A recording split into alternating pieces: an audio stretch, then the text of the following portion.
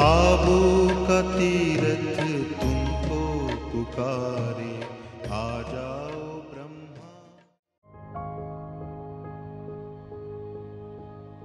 Manmohini one में बाबा की याद में हर साल एक कुटिया बनाई जाती है। इस साल भी भट्टी में आए बी के भाई बहन उस कुटिया में योग तपस्या कर रहे हैं, जिसका नज़ारा बहुत ही अद्भुत है। हर कोई बाप समान की स्थिति को पाने की कोशिश में जुटा है। बहुत ही बढ़िया बना है, बहुत ही सुंदर है। देखने लायक है। सभी जो भी योग भट्टी में आए हैं भाई लोग उनको और खास करके जो नए हैं, उनको तो ज़रूर देखना चाहिए। क्योंकि यहाँ देखने से बहुत कुछ जो है नज़र आता है, जैसे कबूतर का भी है सीन, और वो बाबा भी बैठे हैं, दोनों, दो कबूतर भी हैं। और योग, योगी कर रहे हैं। इस तरह का माहौल देखने के बाद इतना आनंद आता है जिसका कि कहना नहीं। आइए, हम आपको कुटिया के अंदर ले चलते हैं, जहाँ बाबा के समय की पुरानी यादों का खजाना बसा है।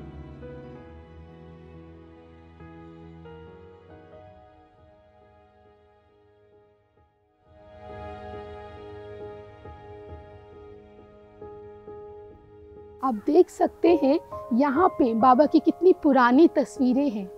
तस्वीरों में बाबा का पुराना बच्चों के साथ जो समय बीता है, वो दर्शाया गया है। आप देखिए इन तस्वीरों को और महसूस कीजिए, अनुभूति कीजिए कि आप भी उसी पल में हैं, आप उस पल को जी रहे हैं। बाबा की इन तस्वीरों से आप अपने आप को उस जगह, उस समय पर महसूस कर पाएँगे।